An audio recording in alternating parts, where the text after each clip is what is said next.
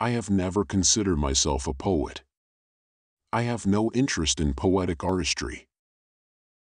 The ego is partly free, partly determined, and reaches fuller freedom by approaching the individual who is most free, God. The thought of a limit to perceptual space and time staggers the mind.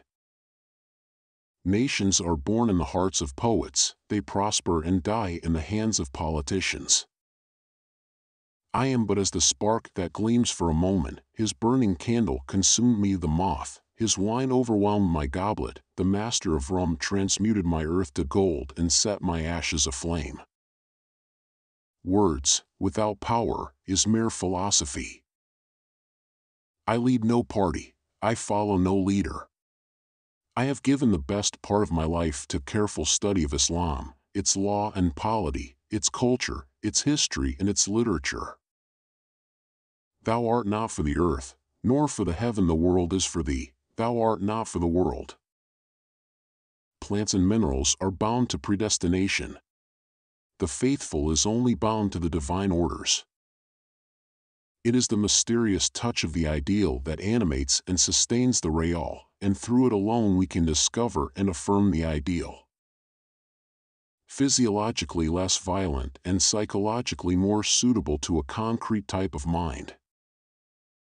The truth is that the religious and the scientific processes, though involving different methods, are identical in their final aim. Both aim at reaching the most real. Destiny is the prison and chain of the ignorant, Understand that destiny like the water of the Nile, water before the faithful, blood before the unbeliever. It may, however, be said that the level of experience to which concepts are inapplicable cannot yield any knowledge of a universal character, for concepts alone are capable of being socialized. But inner experience is only one source of human knowledge. Islam is itself destiny and will not suffer destiny. In the first period religious life appears as a form of discipline which the individual or a whole people must accept as an unconditional command without any rational understanding of the ultimate meaning and purpose of that command. My ancestors were Brahmins. They spent their lives in search of God. I am spending my life in search of man. Be not entangled in this world of days and nights, thou hast another time and space as well. It is the nature of the self to manifest itself, in every atom slumbers the might of the self. If faith is lost, there is no security and there is no life for him who does not adhere to religion. Unbeliever is he who follows predestination even if he be Muslim, faithful is he, if he himself is the divine destiny. The immediacy of mystic experience simply means that we know God just as we know other objects. God is not a mathematical entity or a system of concepts mutually related to one another and having no reference to experience.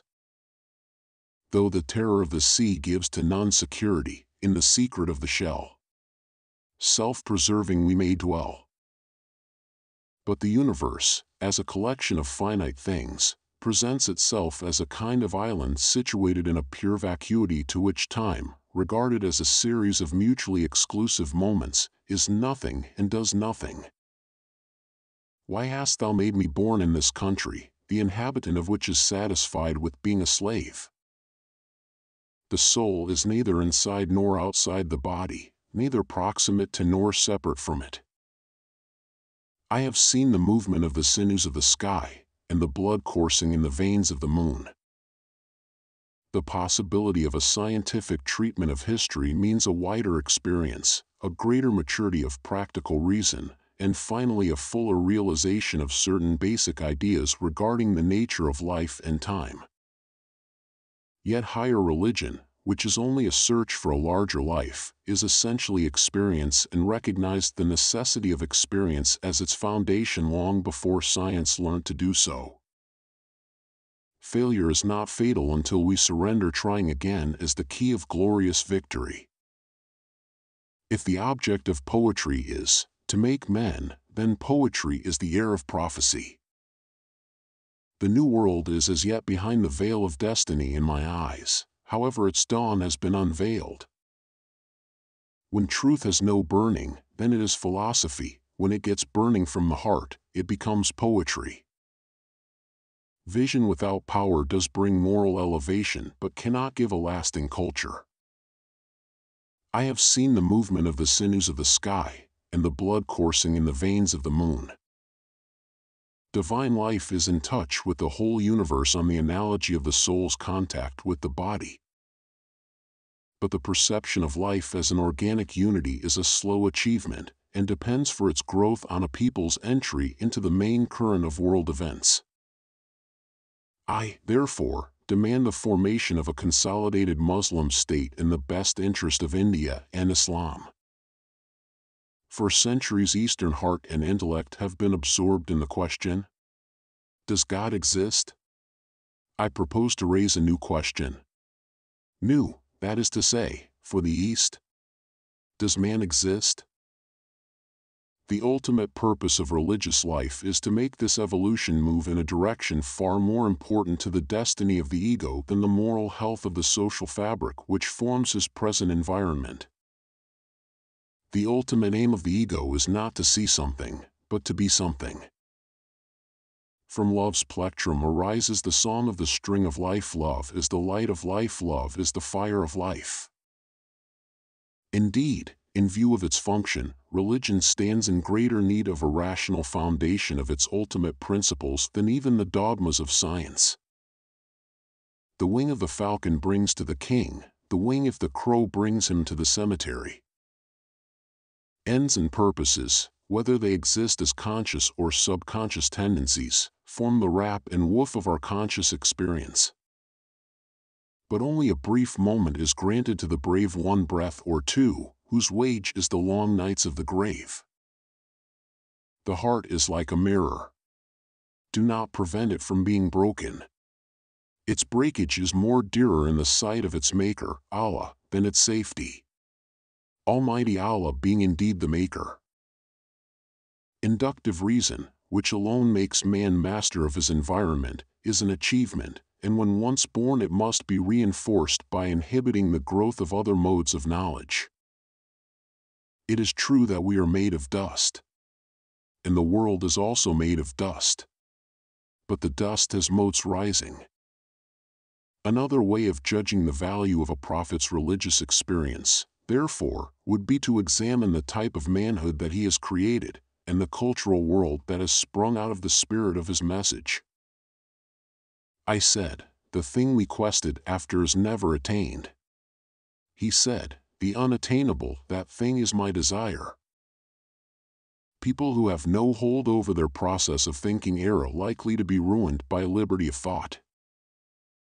Man is primarily governed by passion and instinct. A wrong concept misleads the understanding, a wrong deed degrades the whole man, and may eventually demolish the structure of the human ego. That is why, according to this newer psychology, Christianity has already fulfilled its biological mission, and it is impossible for the modern man to understand its original significance. Sexual self-restraint is only a preliminary stage in the ego's evolution. It is the lot of man to share in the deeper aspirations of the universe around him and to share his own destiny as well as that of the universe, now by adjusting himself to its forces, now by putting the whole of his energy to his own ends and purposes. Art, if the object of poetry is to make men, then poetry is the heir of prophecy. Conduct, which involves a decision of the ultimate fate of the agent cannot be based on illusions. People who have no hold over their process of thinking are likely to be ruined by liberty of thought. If thought is immature, liberty of thought becomes a method of converting men into animals. Rise above sectional interests and private ambitions. Pass from matter to spirit. Matter is diversity, spirit is light, life and unity. But only a brief moment is granted to the brave one breath or two, whose wage is the long nights of the grave. the standpoint of the man who relies on religious experience for capturing reality must always remain individual and incommunicable. Why should I ask the wise men, whence is my beginning? I am busy with the thought, where will be my end? Since love first made the breast an instrument of fierce lamenting, by its flame my heart was molten to a mirror, like a rose I pluck my breast apart, that I may hang this mirror in your sight. Alas for a love whose fire is extinct, a love that was born in the holy place and died in the house of idols. The alchemist of the West has turned stone into glass, but my alchemy has transmuted glass into flint. Pharaohs of today have stalked me in vain. Thus passing through the infinite varieties of space we reach the divine space which is absolutely free from all dimensions and constitutes the meeting point of all infinities. I am a hidden meaning made to defy the grasp of words and walk away with free will and destiny. As living, revolutionary clay. Become dust and they will throw thee in the air, become stone and they will throw thee on glass. The scientific observer of nature is a kind of mystic seeker in the act of prayer.